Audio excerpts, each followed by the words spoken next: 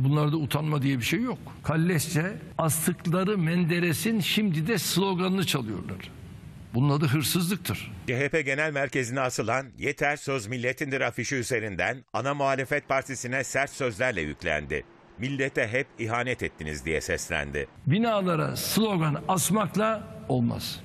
Önce gerçekten milli iradeye saygılı olmayı öğrenin. Bunlar bir defa milli değil. Bunlar gayrimilli. Bu millete hep ihanet ettiniz. Yeter söz milletindir diyen Menderes'i ipe götürdünüz. İdam ettiniz. Ve bunun sorumlusu sizsiniz. Başkan Recep Tayyip Erdoğan canlı yayında gündeme ilişkin önemli açıklamalarda bulundu. Hedefinde altılı koalisyonun mutabakat metni vardı. Tam anlamıyla koalisyon dönemine dönüş söz konusu olacak. Kendi kuklamızı Cumhurbaşkanı adayı yapabilir miyiz? Şu bakanlığı veya bakanlıkları kapabilir miyiz? Eski Türkiye'de olduğu gibi altılı masanın bakanlık paylaşımı kavgaları da unutmayın ha yakındır. Tüm bunlar amaçlarının millete hizmet değil, rant sağlamak olduğunu gösteriyor. Muhalefetin seçimlerde aday olamaz iddiasına yanıt verdi. Bunların hiçbirisinin anayasanın 101'inde veya diğer maddelerinde filan bir yeri yok. Çıkaracakları bir cumhurbaşkanı adayının seçilme şansı olmadığını görüyorlar. Bundan dolayı rahatsızlar. Yeniden adaylık önünde de hiçbir engel bulunmuyor. Hukuka da anayasaya da uygun.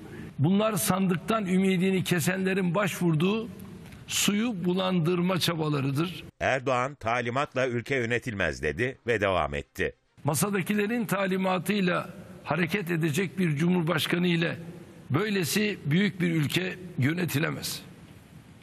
Kaldı ki bunlar talimatı nereden alıyor dışarıdan. Ne diyor? Batı bize aferin diyecek. Kuklalara kim itibar eder? Şu anda yedili masanın içinde olanlardan otellerin lobilerinde IMF ile görüşmeler yapanlar var. Başkan Erdoğan canlı yayında 1946 yılında CHP'nin iktidar olduğu dönemde verilen ekmek karnesini gösterdi. vatandaşım önümü kesti. Bana da bir kart verdi.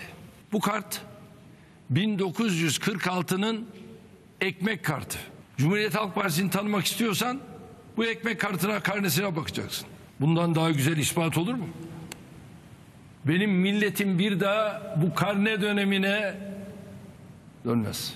Erdoğan'a Cumhur İttifakı'nın genişleyip genişlemeyeceği de soruldu. Türkiye'nin bekası için yerli ve milli bir anlayışla siyaset yapan herkese kapımız açıktır. Değerlere inanan ve saygı gösterenlerle biz yol yürüyebiliriz.